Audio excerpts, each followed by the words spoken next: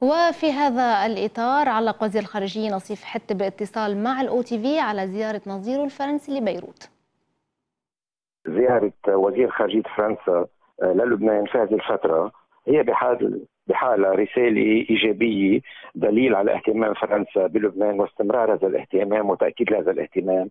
ايا كانت الانتقادات التي وجهت كما سمعنا وهي تأتي أنا أراها من باب الحرص على لبنان والحرص على اللقاءات اللبنانية الفرنسية وهي بمثابة حث لبنان على الإسراع في عملية الإصلاح وعلى الإسراع في خطة الإصلاح، وزير خارجية فرنسا في هذه الزياره يأتي ليؤكد مرة أخرى التأكيد على ضرورة الإسراع وليس التسرع، الإسراع في عملية الإصلاح. بس ماذا سيكون جواب الجانب اللبناني؟ ماذا ستقولون؟ يعني دعيني أقول دون شك هنالك حرص منا وهنالك إدراك، يعني نحن ننظر بعقل نقدي، أتحدث على الأقل أنا مسؤول عن ما اقوله، ننظر بعقل نقدي إنه رغم كل المعوقات ورغم آه، كل المشاكل التي تواجه لبنان فعلينا حقيقة ليس فقط التمسك بخارطة الطريق كما أكدت للإصلاح إنما المضي بشكل سريع في هذه العملية لأنه كما ذكرت وأكرر هنالك تكلفة زائدة. الوقت يعمل ضد الإصلاح في لبنان وإذا سنتحاور ونتحدث في هذا الأمر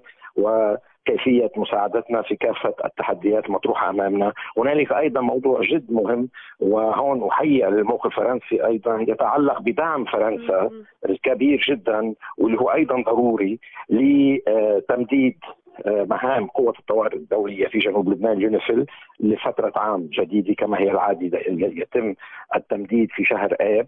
وأيضا مع التأكيد على عدم أي تغيير في مهام هذه القوات كما قد يحاول البعض العمل وعدم التغيير في عديد هذه القوات. هنالك أيضا دعم لشبكة المدارس الفرنكوفونية.